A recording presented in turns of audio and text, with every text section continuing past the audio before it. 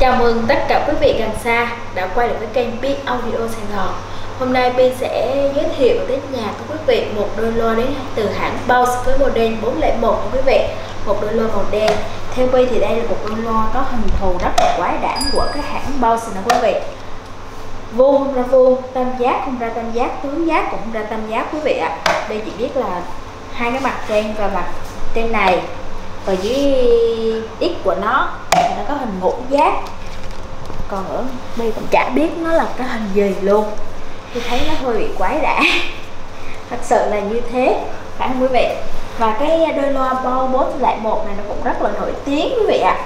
nó dùng để được uh, nghe nhạc và karaoke. Nó có hai loa bass đối xứng nhau ở mặt trước và mặt sau. À hai loa bass ở nằm cạnh nhau quý vị cạnh bên nhau. Một loa bát đây một loa bát đây bát của nó là màng giấy và viền vải nha quý vị. Viền vải không bị, chúng ta không lo bị à, bị rách. Còn nếu như rách cố tình thì bi không ờ, không biết đâu.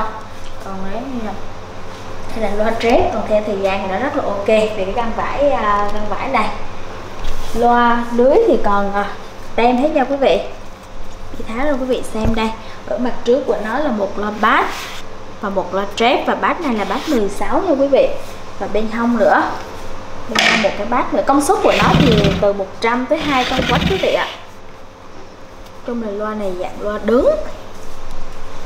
Này, loa bên hông hết bên hông. Mũi một bằng vải luôn. Viền vải mũi vải màng uh, giấy.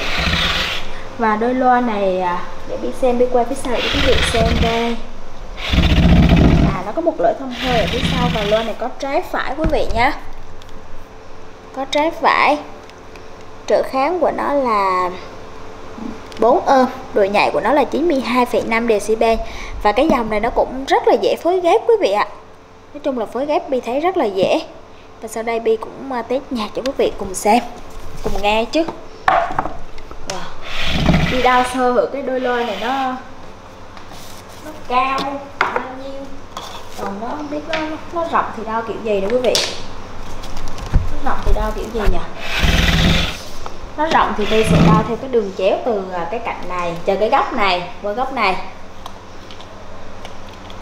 Cái đo chiều cao của nó xem nó cũng rất là cao chứ không phải là thấp đâu. Đây loa này nó cao 76 nha quý vị không tính chân. Có một cái chân ở dưới nó có chân ở dưới nữa còn à, chiều rộng của nó đây. Của nó rất là rộng.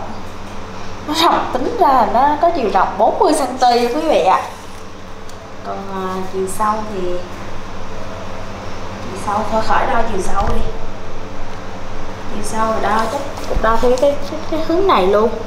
Cái loa này đúng là nó có hình thù rất là kỳ quái. Nhưng mà chất âm của nó thì hay quý vị ạ và đôi loa này Bi à, đang bán với mức giá là 9 triệu đồng. Nếu như ai yêu thích cái dòng loa này, thì hãy liên hệ với Bi sớm.